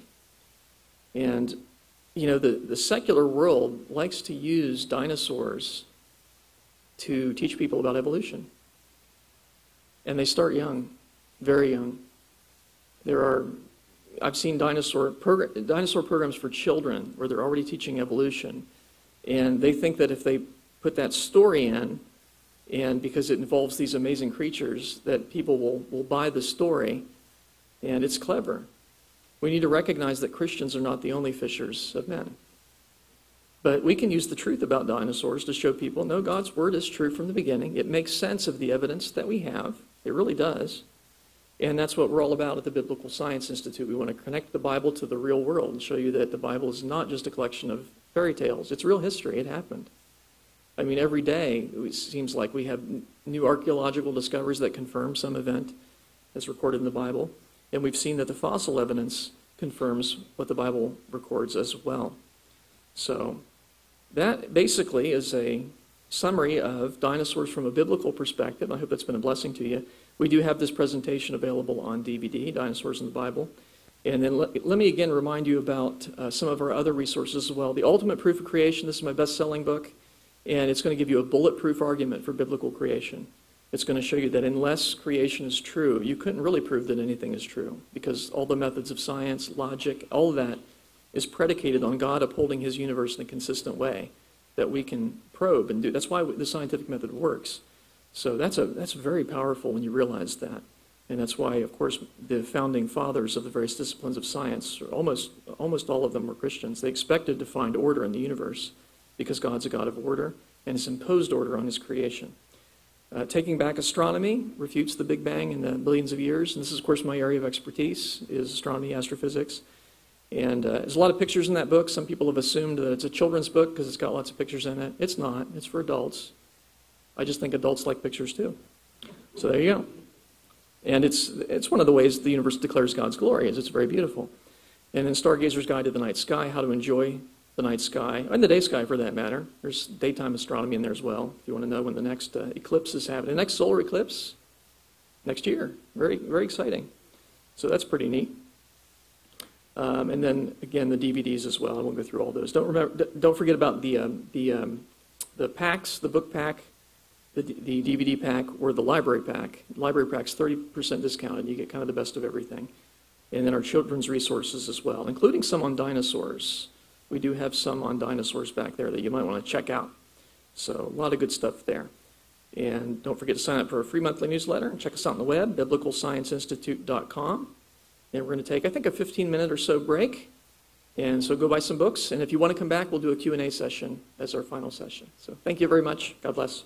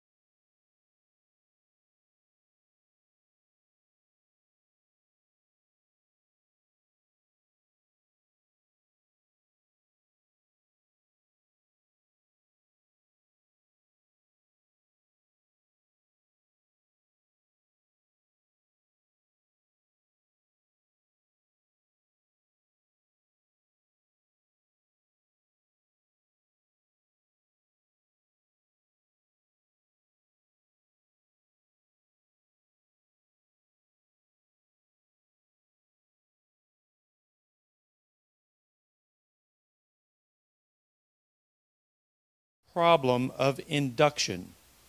And this may go with it. I'll go ahead and ask this too. What are the best resources that respond to the problem? Yeah, so uh, Hume is asking the question uh, basically, how do we know that the sun will rise tomorrow? Or for that matter, uh, whenever we use past experience as a basis for predicting future success, we're assuming induction. We're assuming that there's an underlying uniformity between future and past. That's why we can do that. And, and, and a, a Christian can justify induction by uh, appealing to Scripture because we have a promise from God. God has promised that He will uphold the future like the past. Right? In Genesis 8:22, God promises the basic cycles, the seasons, the day and night cycle. He says they will continue as long as the earth remains. So until judgment day, there's a certain predictability in the universe, okay? And we can rely on that, and that's how science assumes that. Science assumes induction. Hume found that uh, on his secular worldview, he could not account for induction. He, he knew that the sun would rise tomorrow, but he didn't know how he knew that the sun would rise tomorrow. Okay? And it won't do to say, well, it rose yesterday, because that begs the question, right? To say, well, therefore it will tomorrow. But how do you know that? If the, how do you know that the future will be like the past in terms of basic cycles? Now, obviously, we can't predict specific events, um, but we can predict, like today's eclipse. I knew it was coming because we because I'm relying on the orderliness that God has instilled in nature. And God's in a position to know that because he's beyond time. And so he can tell us what the future will be, and he has a perfect track record on that. The prophecies given in Scripture and so on. We'd expect that. Um, but Hume couldn't.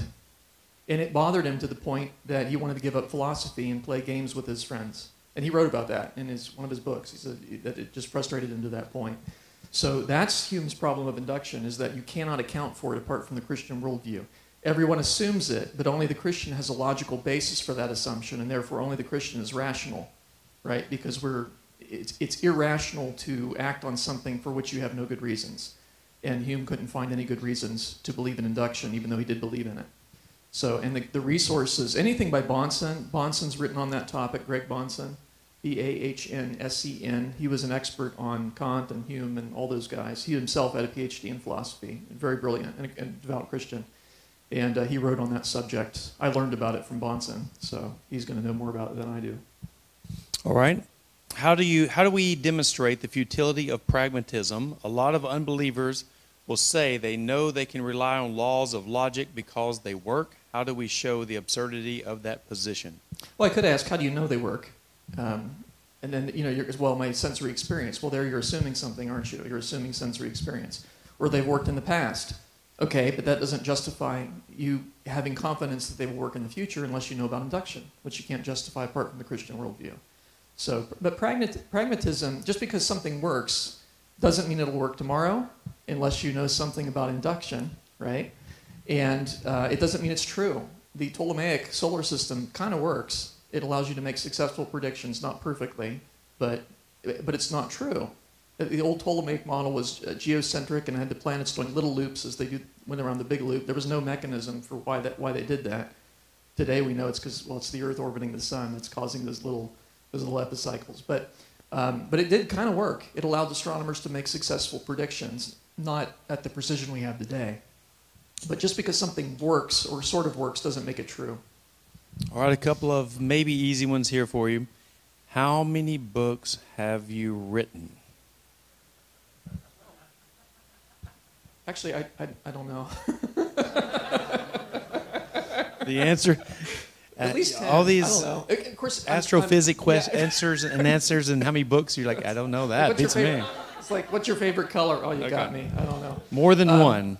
More than ten, at least. And uh, there's see, there's some that I'm a co-author on too, so I don't right. know if that counts. But in any case, oh, quite a lot. Uh, all right. Here's a very difficult one. How old are you? 48. 48 years old. No. Yeah, Google's right. Yeah, I'm not 73. According to according to Google, I'm 73. Oh, that's interesting. All right, what are all the names of the planets and stars and moons and galaxies? I don't. You got okay, that? Okay, here we go. Okay, go. Um, the planets in our solar system: Mercury, Venus, Earth, Mars, Jupiter, Saturn, Uranus, Neptune. Pluto got demoted. And he got Plutoed, but um, he's still there. And there are some asteroids. That, there's, by the way, it's not the first time that happened. Pluto uh, was not the first, but I think there's another question on that, so I'll save that for later. Um, the moons, they're, they're the like uh, Earth's moon is moon, Mars is Phobos and Deimos. Jupiter, the big four, Io, Europa, Ganymede, Callisto.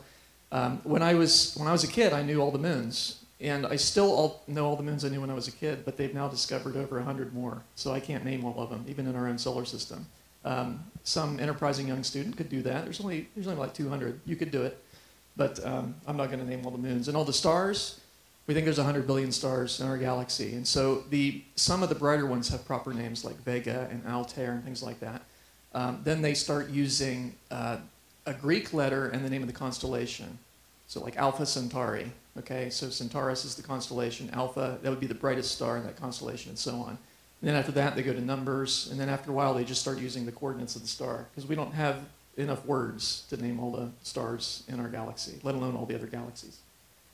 All right. Uh, what resources or tools or training would you recommend for teaching high schoolers logic and the right view of how false evolution is? So yeah, so um, the, the book Introduction to Logic is explicitly written for that, Introduction to Logic. And then if you, if you specifically want to apply it to evolution, then that little book, Discerning Truth, that goes through the top 10 fallacies that evolutionists tend to commit. So those would be the two, Introduction to Logic and Discerning Truth. All right. What is the likelihood of most the most distant Saturn and Jupiter moons jumping orbits? Well, um, in terms of um, swapping, like swapping orbits, they wouldn't do that. There's two moons of Saturn that swap orbits because of their close proximity, but the outer moons are not going to do that. If, you, if they mean um, getting their orbit altered, that can happen. If a comet goes through the system or, or moons can be captured. Asteroids can be captured and become moons. That, that's a, there's a known process that'll do that. And maybe some of the outer moons were once not moons that were separate asteroids that have been captured gravitationally. There are three body interactions that'll do that. So, and the farther away they are from their planet, the more likely that is to happen. So that could happen. Is it possible for Venus to uh, to be involved in an eclipse where we see Venus in front of the sun? Yes, it's called a transit. Um, the, the eclipse is reserved when the objects are about the same size, so the apparent size. So the moon is 400 times smaller than the sun, but also 400 times closer, so it appears about the same size in the sky. Venus appears tiny, and it, it, does, it does cross in front of the sun. It does that twice every hundred and some years. And the two events are always separated by eight years. So that last happened in 2004 and 2012, so you just missed it, and you probably won't live to see the next one but it does happen. I got to see the one in 2012, and, I, and, and, in fact, I think my book Stargazer's Guide has a picture of it. It's this little black dot crossing in front of the sun. It's, it's neat to see, but yeah, you won't see the next one. You might see Mercury cross because Mercury does it um, once every few decades. I think the next, I've seen several Mercury transits, and the next one's like I think 2053 or something like that. So that one you might make. Optimistic. Do we know how many days were in between Adam and Eve being created to when they sinned? We don't know the number of days. Uh, most theologians believe it was a relatively short period of time because they were told to go and multiply, and being in their perfect condition, they would have done that efficiently, and yet apparently they sinned before their first child. So the assumption is it was within Eve's first menstrual, menstrual cycle, so within a month. All right. As God, as God created Adam as a man and not a boy or baby, can we use this as a comparative example of the strate, uh, strategy of our universe from what we can observe or reason? Well, yeah, the universe was made functional from the beginning. It didn't have to go through a developmental stage from childhood to adult and so on. And now secularists believe that it did, but um, they don't have any evidence for that. In fact, the uh, James Webb Space Telescope recently revealed that they were expecting these baby galaxies at great distances. They didn't find them. They found adult galaxies at great distance, which is something I predicted, actually. So if you want to make correct predictions, start with biblical creation. So yeah, that was 2020, just last year, 2022. Um, there were three predictions that I'd made that James Webb would detect that were the opposite of what the secularists were predicting, and my predictions were right because I based my thinking on God's word. So um, I predicted that these galaxies would be, that there would be galaxies at greater distances than they were expecting, much greater, and that's been confirmed. That the galaxies would be mature, fully designed galaxies, which is confirmed, and that they would have the presence of heavy elements in them, because baby galaxies shouldn't, but adult galaxies would. So yeah, those were those were confirmed last year. Last year was a fun year. All right. How many stars are in existence that we know of? So there are at least 100 billion stars in our galaxy, and there's at least 100 billion galaxies, and probably more with James Webb now finding them out at greater distances. So there's a lot of stars. So 100 billion. Times, times 100 billion. Times Probably 100 times billion. 10 or 100. Can do that on your calculator real quick, Jeff? So it'd be 1 to the power of um, about 20 or so, something like that. So 1 to the 18 would be, that would be a billion. Um, so 100 billion, 11, so around 10 to the power of 22 stars, somewhere around there. Okay, with that said, are or can stars still be created? Um, there's, there's no um, theological problem with that, but I don't think they do. I don't think a star is not like a living organism where it requires a lot of design. It's a ball of gas. That being said, the conditions in space for gas to fa- fall in and collapse on itself, I think that probably doesn't happen. There's a limit. It's called the Jeans mass. It's just a question of whether or not it occurs. Um, gas tends to spread out in space. Now, once a star is made, it's it's small enough that its gravity will hold it together because gravity diminishes as the square of the distance. So uh, in a nebula, the, the outward force of gas pressure would normally be orders of magnitude larger than the meager inward pull of gravity. So once you make a star, it'll stay a star. But getting a star to form naturally, I don't think it happens. So I don't think they form today. And, and we, by the way, we've never seen it happen. You'll see, you know, claims, well, this is a star-forming region. Let me clue you in. What they find there are bright, hot blue stars that everyone agrees can't last millions and millions of years. And so they must, they've assumed they must have formed recently, and therefore it's a star-forming region. It's really evidence of the young universe.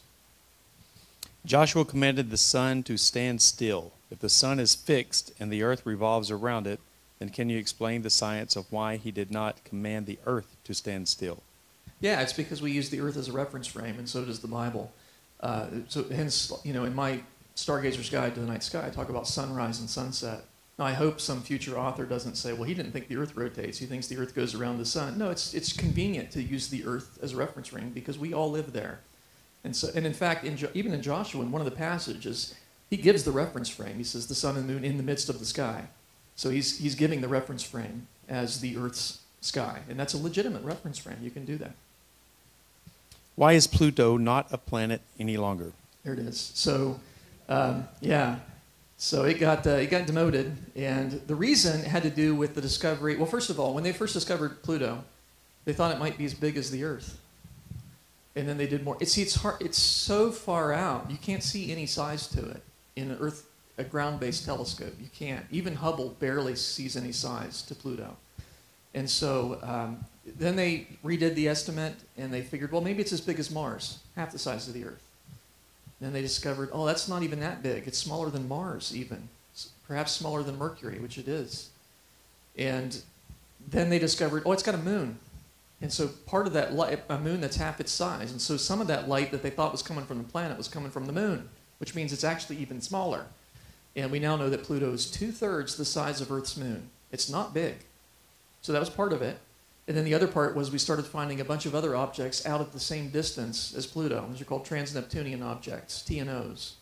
And they're out at that distance, and some of them are almost as big as Pluto. And the, the real um, twist came when they discovered one that at the time they thought was bigger. When they found Eris, um, they, they thought initially they thought it was a little bigger than Pluto. And so, should we call that the tenth planet? And if, by the way, if that's the tenth planet, should we add in these other 10 or so that are almost as big as Pluto? Should we have 30 or more planets in our solar system? Now think of the children that are going to have to memorize this stuff, right? So it was just easier, Pluto being so much smaller than, than the other, the classical eight planets, it was easier to kick that out and just call it the largest member of this new class of object, uh, trans-Neptunian objects. So that's what happened. And by the way, it wasn't the first time that happened. When the first asteroids were discovered, the first four asteroids were originally planets. There was a time when our solar system had 11 planets. And the ones you haven't heard of, uh, Ceres, uh, Vesta, Pallas, and Juno, those were discovered. Ceres was discovered in 1801. And then within the next few years, all, those four were there, and our solar system had 11 planets because Neptune hadn't been discovered yet. And then in the mid 1840s, 1850s, they started finding another dozen or so of these asteroids, and they said maybe we ought to reclassify these as a new type of object because asteroids are very small as well. So it's not the first time that happened. Do stars have mass? Like, or can you stand on them? They I have- guess versus gaseous. Well, they are. They have mass. They don't have solidity. They're not solid. You can't stand on one um, because they're fluid, right? So, but they do have mass, it, and it's the the mass of the sun that causes the Earth to stay in orbit as opposed to just continue to go in one direction in space. So, yeah, they do have mass. Everything, everything that has substance, everything that has everything that has substance has mass, basically. All right, what is the difference between a gaseous star and a gaseous planet? A star is large enough that it can initiate hydrogen fusion in the core, and planets can't. So Jupiter doesn't have any fusion going on in its core. It has insufficient temperature and pressure to fuse hydrogen into helium. But the sun can, because its core is much, it's got a lot more material, it's bigger, it's more massive. So mass would be the difference. Um, anything heavier than uh, a certain number, I forget what the number is, a certain number of Jupiter masses uh, will initiate hydrogen fusion. There's an intermediate class too, where you can you can fuse heavy hydrogen, deuterium. Those are called brown dwarfs. Those are kind of intermediate between a planet and a star. How can a Christian rightly know whether someone is speaking of quantum physics when they refer to quantum physics? We've noticed quantum physics refer to for or, referred to for ju- the justification of new age and false doctrines. Hmm. So, well, um, you'd have to study it. I mean, you have to study quantum physics to know if somebody's speaking rightly about it or, wrongly about it. If what they're saying is contrary to what the Bible teaches, then it's wrong, right? So that that's one indicator. Uh, some people ha- have tried to justify absurdities with quantum, uh, especially the Copenhagen interpretation, where you have particles that are sort of there and not there at the same time in the same sense. And doesn't that violate the law of non-contradiction? Well, the actual physics doesn't. There are certain interpretations that do. But the fact is, particles behave like waves until you do an experiment that forces them to be in a specific position. Otherwise, they act like they're spread out over space and expanding. And, um, but they never act like a wave and not a wave at the same time. They never act like a particle and not a particle at the same time. So they don't violate the law of non-contradiction. So that's one of, that's one of the claims that I've heard is that, um, well, logic, laws of logic don't work in the quantum realm. You could never have discovered that if laws of logic didn't work in the quantum realm, right? Because you're using logic to reason about quantum. So no, they, they, they can't be used to disprove any principle of logic or of scripture for that matter.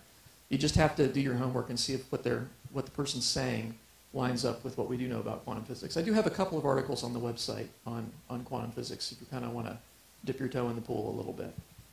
What about the multiverse? Is there any rationale for the multiverse? Uh, no, as, far as we know, God's created the one universe, and if he if he made others, he hasn't told us, and therefore there's no rational reason to believe in them, right? Because uh, if we need to, if we're going to believe in something, we ought to have a rational reason for it. And by definition, we couldn't possibly know about any other universe because it doesn't interact with ours unless God told us, which He hasn't. So it's not there. The the secular reason, the reason why many secularists believe in a multiverse is because um, if you believe this universe came about by chance, it's just so improbable that it came about in such a delightful way as to allow for life forms like us. It's remarkable. It's almost as if it's designed. And you can't, if you can't handle that it's designed, then you commit the gambler's fallacy and you say, well, we must live in the lucky universe where the, all the other ones, uh, life wasn't designed. And that is, a, that is a fallacy. But it's one that scientists make. Did global warming kill the last of the dinosaurs, and are we next? Uh, Dum dum dum. No, up. because uh, the evidence would seem to indicate that dinosaurs lived, uh, some of them into the you know a few hundred years ago, perhaps. Uh, some of the some of the legends that I that I read you are from a few hundred years ago, and yet there was a time when the Earth was considerably warmer than it is now. There was the medieval warming period around 1000 A.D. And we know that the Earth's temperature was higher then because you- the way people you could there, you could grow uh, certain fruits at higher latitudes back then because the Earth was a little warmer than it is today. So we've we've done this before. We the Earth has experienced warmer temperatures than it does today. It's just people didn't freak out it freak out about it back then um, because they had more sense than people have today. So yeah. So dinosaurs apparently some of them lived through that period. It didn't kill them off. All right. Let's see. You wrote several articles on your website about flat Earth. Can you speak on that for a moment? Yeah, the Bible teaches the world's round. In Isaiah, I guess the best passage would be Job 26:10, where it says that God um, inscribes a circle on the waters at the boundary between light and darkness. That boundary is, we, we astronomers call that the terminator. That's where light stops or terminates. It's where evening and morning occur. And the only way you can get a circular terminator is on a sphere. There's no other shape that will always produce a circular terminator. So the Bible mentions the roundness of the earth, and that's in Job, which was 2000 BC. As far as I can tell, the earliest reference to a round earth is in Job. The, the secularists believed the earth was flat at that point, and it wasn't until around 500 BC or so, 500, yeah, around 500 BC, that uh, folks like Pythagoras started proposing that the earth was round. Aristotle's considered the first to prove that the world's round. It's very easy to demonstrate that the earth is round. Um, in fact, I have some articles on the website that show you some experiments you can do to detect the uh, spherical nature of the earth. Um, I live in Colorado Springs, where it's very easy to detect the roundness of the earth because you can see it from the top of Pikes Peak. You can see the curvature. It's pretty neat. But um, you can also, even when I was when I was young, even we took our first. I grew up in Ohio. We took our first family vacation out to Colorado, to Colorado Springs. That's when I fell in love with the state. And I was 16, and I thought, you know, I could. How how long till we see the mountains? And I did a little calculation, and based on the size of the Earth, I calculated how long we should be, you know, how far away we should be able to see Pikes Peak. It turns out it's around 150 miles, given the size of the Earth, and that's just a simple trigonometry problem. So, you, and you can do it in reverse. You can say how far, you know, how far out should we be able to see from Pikes Peak, and it turns out it's about 150 miles. If the Earth were flat, you could see it theoretically at any distance, right, with a powerful enough telescope. Everything, you ought to be able to see every mountain from every other mountain, but you can't. And so, uh, it, here's an experiment you can do. You can go to Dodge City and look west, and if you see Pikes Peak, the Earth's flat. If you can't see it, the Earth's round. So there you go. Did anyone else do trigonometry on their vacation on the way to Colorado when they were a kid? Okay, I'm not the only one that did not. All right. How can you demonstrate that the Christian God exists, uh, creator of the universe, can suspend the laws of gravity? In other words, how should an apologist justify divine hiddenness, uh, e.g., lack of confirmed miracles? Well, okay, so it's not the lack, it's it's not miracles that should convince you that God exists. It's the orderliness that we find in nature that should convince you that God exists because there's no basis for it apart from the Christian worldview.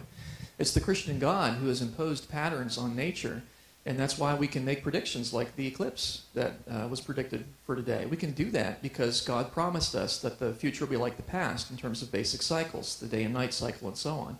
And as David Hume pointed out, from his secular point of view, there is no rational basis for believing that. And so anytime you trust in the predictions of the astronomers and, and things like that, you're assuming induction, which only is justifiable with the Christian God. So that's one, that's one answer right there. Uh, we saw this morning how logic and the, the laws of logic, their existence and their properties, we can only know about them if God exists, is who he claims to be in Scripture, and has revealed himself to us. Otherwise, you'd have no justification for believing in those things. And it won't do to say, well, they've worked in the past because then you're assuming induction and so on, things that you can't assume apart from the Christian worldview. So that's one way. It's very easy to demonstrate God's existence. You don't need miracles. Now, can God do miracles? Yes. Uh, God can temporarily suspend the order that He's placed in creation to do something extraordinary, but He doesn't do that on a whim. Miracles, by definition, are rare. And so, and we don't really need them in order to justify the existence of the Christian God. It's, it's, the, regu- it's the regularity in nature, not its absence, that demonstrates the biblical God. Okay, which makes more uh, sense, more probable? A, the supernatural accounts as claimed by the Bible are true, including the existence of a supreme being who is undetectable and undemonstrable. Demonstratable, maybe. Okay, sorry, it kind of blurs together. and My vision's not good. Uh, or B, the Old Testament is an amalgamation of imagined stories to explain an origin of ignorant and illiterate people, except for church leaders. It continues, and the New Testament is a collection of letters from a person with a supposed supernatural experience and supposed eyewitness accounts of an effective magician. There's uh, a lot there. You got yeah, yeah. Um, neither. That's that's a bifurcation fallacy. Because the first is asking about a God who's hidden, who's undetectable. The, the biblical God's very detectable by what he does. He's invisible, so, you know, well, can I see him? Well, no, you can't because he's a spirit. He fills the universe. If you could see him, you couldn't see anything else because he's everywhere. So, um, fortunately, he's a spirit, but he's very detectable, and one of the ways you detect him is he makes knowledge possible. right? Because we can reason logically and so on. I don't, and we, we demonstrated that that only makes sense in the Christian worldview, at least briefly. I didn't cover all the loopholes, but you can do that on your own. Induction only makes sense in light of the biblical God. Uh, could the Old Testament be stories that are made up? No, because archaeology has confirmed many of them. So even secular archaeologists, when they want to know where to dig, they go to the Bible to find out where to look because they know that it records true history. And if it didn't, we couldn't justify things like induction and so on. So um, the Bible's the only thing rationally that makes sense. It's not, it's not rational to disbelieve the Bible and to, and to try to say, well, no, it's just made up stories, because that wouldn't account for anything. How would you account for the fact that they knew the world was round at the time of Job? That's amazing. Or that they knew the height of the stars and things. I mean, there are other little, little tidbits of information that are in Scripture that, you know, like the expansion of the universe, which is mentioned in um, Isaiah 40, 22, that God stretches out the heavens like a curtain. That wasn't discovered by scientific means until the 1920s. And, and frankly, you need modern instruments to discover it by scientific means. You need telescopes and spectroscopes. And they didn't have those. Telescope wasn't invented until 1610 or 16, 1608. So, yeah, I mean, so yeah, it can't be a collection of stories as much as people would like to believe that so they can live the way they want to live. It is utterly irrational to believe that. It is, it is only reasonable uh, to believe that the Bible is what it claims to be. And then that makes knowledge possible in science and induction and logic and things like that. The public school systems are teaching and have been for many years the Big Bang and evolution. How does this uh, contradict Christian worldview, and how has it affected our culture today? To the last question, negatively. Um, so people think that they're getting neutral education in public schools. You're not. You're being taught to ignore God in every subject. And the Bible says the fear of the Lord is the beginning of knowledge. So every class ought to start with God. If you want to, if you want to see how the different subjects relate together, you need to start with God and the way He thinks about things. And then you, then you see, then stuff makes sense. You can explain why math applies to the physical world because math reflects God's thinking. The real world is upheld by the mind of God, so of course the real world will obey math, which it does. Secularists can't make sense of that. The, the brilliant Nobel Prize winning physicist Eugene Wigner wrote a wonderful article on that, where he was, he's called The Unreasonable Effectiveness of Mathematics in the Natural Sciences, where he pointed out that from his apparently non Christian worldview, he couldn't make sense of why the universe obeys math. So you see, students aren't taught that, and so they don't know how to think properly about many things, and it causes all kinds of problems. Uh, the Big Bang and evolution, they're, they're not good science. They're, they're not good. They're not supported well scientifically and they do contradict what the Bible teaches about origins. And so naturally, the Christian doctrines that are rooted in creation, things like marriage, right? We get that because God made the male and female, and yeah, that, that goes back to Genesis. And so, what are we seeing now? Marriage is under attack. It's, it's, it's right. We're seeing all kinds of sexual perversion in our culture today, and that makes sense because if we're just evolved animals, why not do what you want?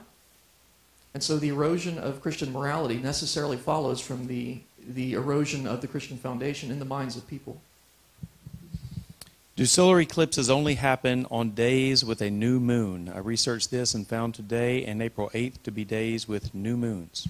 Yes, yes, they do. They only happen on a new moon because that's when the moon is between, sort of the, between the Earth and the Sun, and only when it's exactly between the Earth and the Sun where you get where it's shadow. Normally, it will pass a little above or a little below the plane, but when it passes directly in front of it, you get an eclipse. But yeah, that only happens on a new moon, and then the lunar eclipses only happen on a full moon. Any further development on your theory on starlight and distant time? Any new insights? Well, I used it to make the predictions of what the James Webb Space Telescope would detect um, last year. I, I, made those predictions back in January, and then they were confirmed in July, and I wrote a follow up article in September basically saying, hey, you know, the secular predictions were wrong, but we creationists, we made correct predictions because we're apparently on the right track in terms of our cosmology. So I think that's a confirmation of the model. It doesn't prove it, but it's certainly consistent with it. Can you explain a little bit more of it to us? The the um, yeah. So the the model that I have on distant starlight involves the one-way speed of light, which it turns out is immeasurable. Einstein. Uh, this is well known in, to physicists, but it's not well known else, elsewhere. Uh, uh, Einstein realized that the speed of light in any one direction cannot be measured, but is instead stipulated. Whereas the round trip speed can be measured. In other words, you send light, bounce it off a mirror, bring it back, measure the time, you'll get the same answer every time if the distance is the same. Okay? But uh, we don't know that it goes the same speed out as it comes back, and that's because it turns out that's not a property of the universe at all. It's, it has to do with how we choose to define what now means at a distance. And Einstein found that there was more than one way to do it, and it's kind of complicated. Okay? But that's that's the, the short answer is that we can see light from distant galaxies immediately. It doesn't take millions of years, depending on how we define now in space, which Einstein says is flexible. And that's kind of interesting. It's, it, the physics of Einstein allows light to travel from distant galaxies to Earth immediately, although the return trip would take time. And it has to do with the way now is defined in space. It's not easy to, to explain it in an elevator talk, to be honest with you. I'm still working on that. I understood it fully. I don't know about you guys, but I'm right there with Jason. Okay, so it doesn't discount a uh, the creation story, light years. No, it doesn't. It's it's, pro- it's fully con- that's that's the that's the great joy of it is the physics of Einstein doesn't require the universe to be old at all, any any older than the biblical age of thousands of years, and yet we can still see distant galaxies. So my book, The Physics of Einstein, goes into detail on that, and I've got some articles on the website as well if you want to kind of get the backstory. It's something that's hard to explain in you know, like I said, in a minute or so. It just it takes a little bit of background. Okay. All right. Any other questions you guys have that you'd like to ask at this point? Anyone?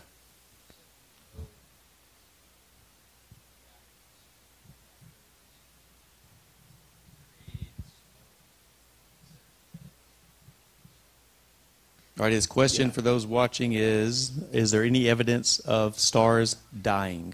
Yes. So stars, there's no evidence of stars forming, but we do see evidence. Stars occasionally blow themselves to bits in what we call a supernova. I've seen several of them. They're cool. Star just complete. It only happens with the really massive stars, but they will blow themselves to bits and they briefly become as bright as the rest of their galaxy. So we haven't had one in our own galaxy for a while, and we're overdue because they normally happen in our galaxy roughly once a century, and it's been about four centuries. So I can't wait for the next one. But I've seen, I've seen some in other galaxies where the star blows up and briefly becomes as bright as that galaxy. It's spectacular to see.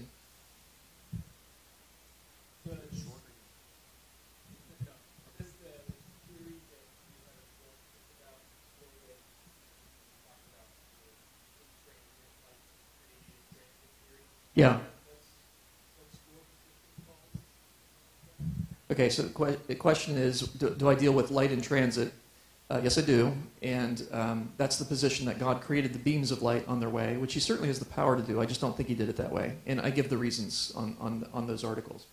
Um, and mine, I, I'm calling it the ASC, ASC, which stands for Anisotropic Synchrony Convention. Ask. Ask and you shall receive. It's good. It's good. I thought that was it. Any other questions you guys have? Yes, sir.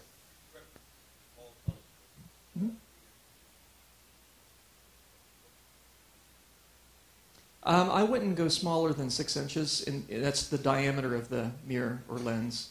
Um, if it's a refractor, you might get away with five inches, but if you go smaller than that, enjoy the moon. Um, but with six inches, you can see planets, you can see moons, you can see some of the details on Jupiter, you can probably see the red spot.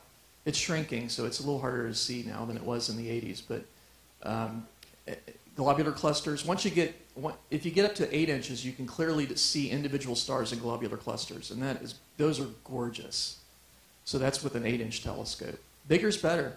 Every time I get out my tel, every time, so I when I take my telescope out, because I live in a light polluted area, I have to take it out someplace remote, and I pack it in my car. And when I'm disassembling it and packing that huge behemoth in my car, I'm thinking, why did I go so big?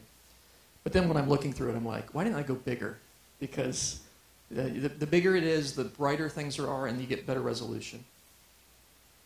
All right. Other questions? Yes, sir.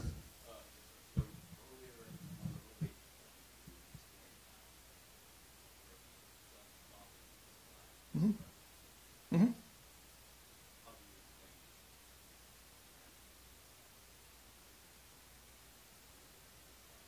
Yeah, that's a good question. Yeah, so yeah, what was mechanism basically that God used to apparently stop the sun and moon in the sky? I think He just stopped the Earth. He just said, "Let the angular momentum of the Earth be zero for a short period of time," and then it was about a day actually uh, um, in the Joshua account, and then apparently started it up again. So I think, but He might have stopped the entire solar system, but we don't know because the moon moves so slowly relative to the Earth that it could, it would you wouldn't notice its motion. So um, he might have just stopped the entire solar system and allowed human activity to continue. But uh, that, that, that appears to be an example of where God did suspend temporarily the laws of nature as we know them. There's no natural mechanism that would do that. Yes, sir.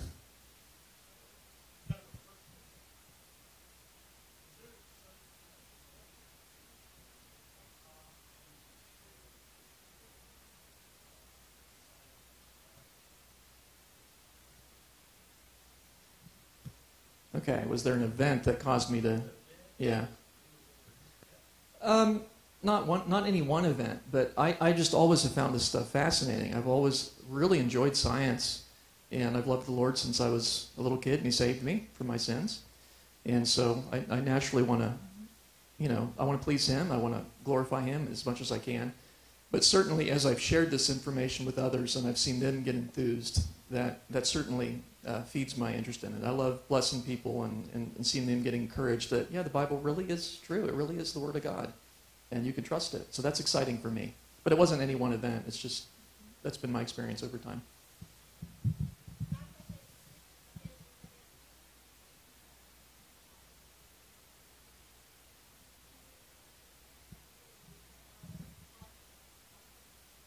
Okay, when, when did I know I wanted to be an astrophysicist and what did my parents do uh, to foster that? I, I was very young. When I, I knew I wanted to go into science when I was a little kid, far back as I can remember, I loved science and astronomy in particular.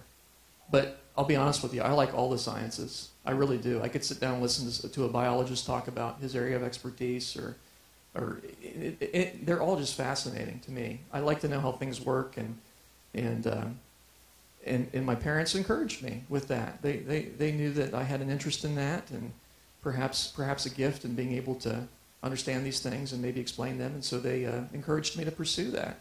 I have, I have very great parents. They're uh, alive and well, and they're serving the Lord as well. So that was, that was a real blessing for me. All right. Any other questions? Right there. Go ahead. Where did I get my start in astronomy? Uh, when I was a little kid, and we would go to the library. That's what we that's what we had before Google. and when I'd go to the kids section, I'd, I'd, just go straight to the astronomy books, and I always liked that. So um, that helped. And um, Star Wars came out when I was a kid.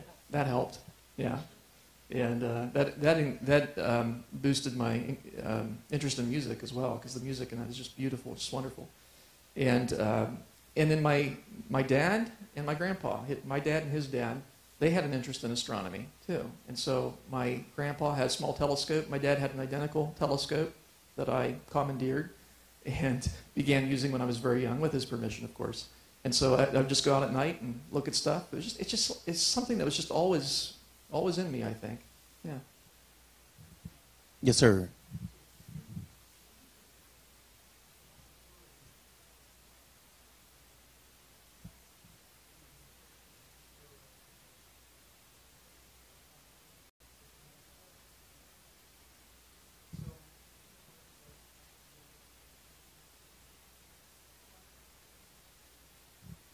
Yeah, so the question basically is how do we go faster in space?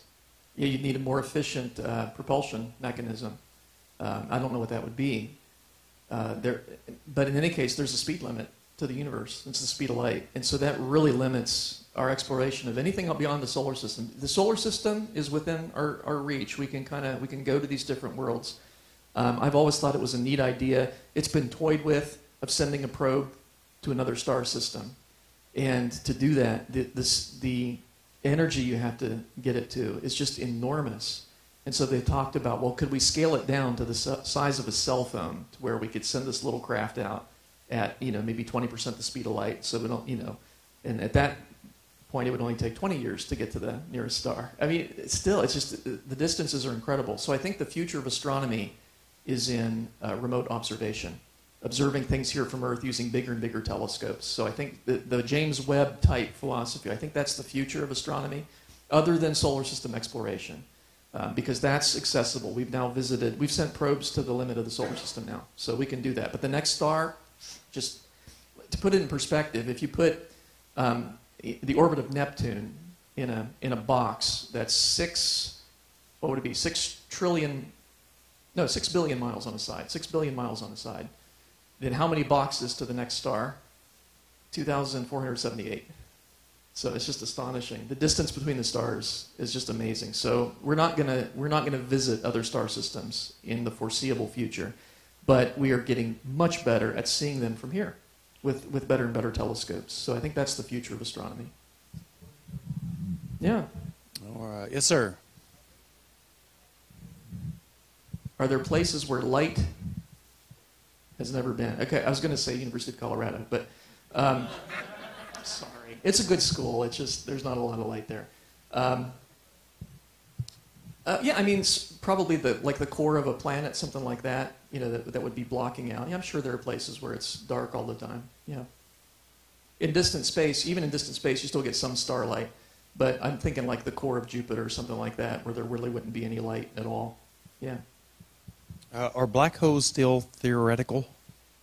I would say no. I think we've we've imaged them, and you'd say, well, how do we image something that's black? Because we've seen the accretion disk around it, and we've done that with um, with two black holes now. There's there's a black hole. We think there's a black hole in the center of every galaxy, and um, M87 was the first one that they were able to image using radio telescopes, using a combination of radio telescopes. There is a technique in physics where you can use radio telescopes and, combine them such that they act like one big one like one big radio telescope the size of the Earth.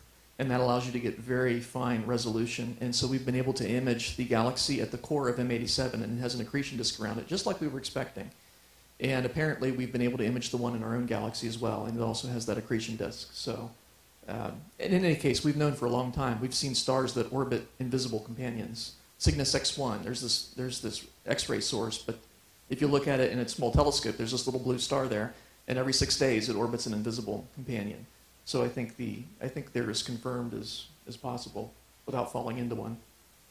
And what are they? How would you define them? A black hole is a region of space where the gravity is so intense that nothing, not even light, can escape. And light being the fastest substance, nothing can escape once it reaches a certain distance from the, the center.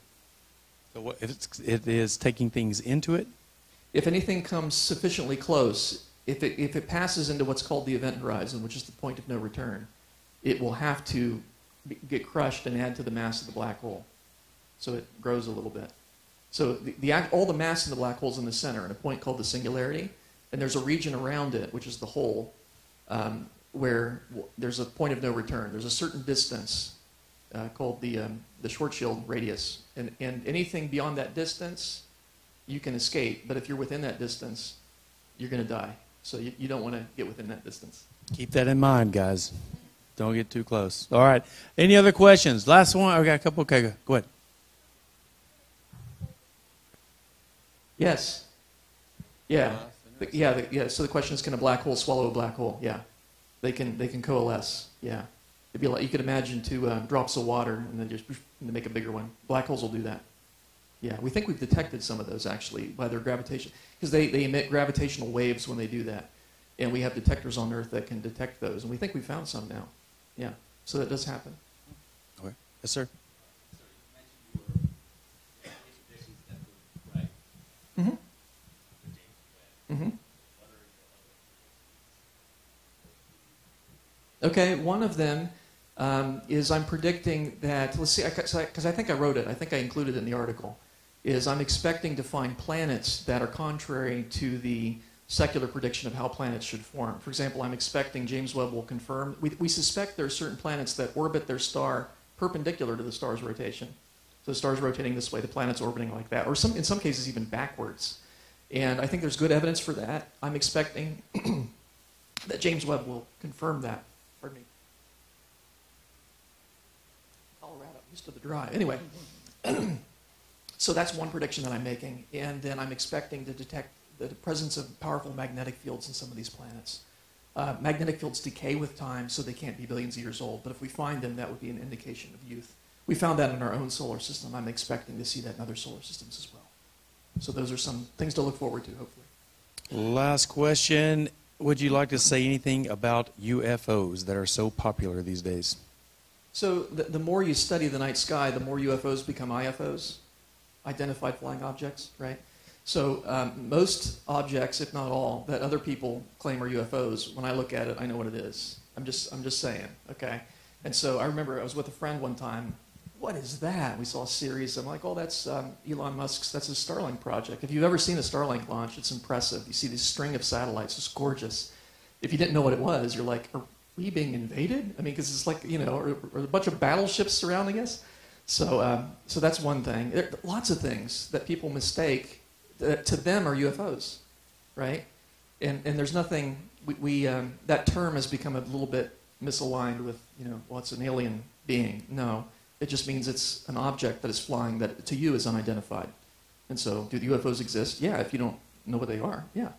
But, um, but most of them have a very logical and ordinary and mundane explanation, like satellites and the International Space Station. And there were the lights that, that you see, well, uh, somewhere in Texas, where they, uh, under certain conditions, when you get an inversion layer, you can see distant cars farther than you normally would be able to because of the way the light bends. And people were reporting those as UFOs, but only on days when there was heavy traffic, interestingly.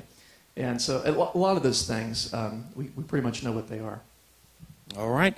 Uh, Dr. Lisle will be speaking tomorrow morning here at 10 a.m. You guys feel free to join us for that. Uh, he'll be here for a few more moments if you want to talk to him for a moment. And also uh, make sure you visit the book table out there and buy every single book and support his ministry. All right, let's end in prayer. Dear Heavenly Father, we thank you that you have made everything as you have made it to where the heavens declare your glory and night to night and day to day just pours out speech about you. Uh, help us not to look around and see all that you have created and try to deny that you have. Uh, it is, is un, illogical and unreasonable to do such a thing. Help us instead to look to the skies, to look to the sun, to look to the moon, to look at the earth, to look at one another and see how amazing you are. That uh, we, we see that you are eternal. You have spoken and created all things, and your power is on display for us to see every day. Help us to take that in and uh, to use this conference to appreciate that even more. We pray that you continue to bless Jason and his ministry and uh, continue to him as he proclaims the truth around the world. In Jesus' name we pray. Amen. Thanks for coming. And our next conference will be Martha Peace, uh, ladies' conference in November. All right. Dismiss.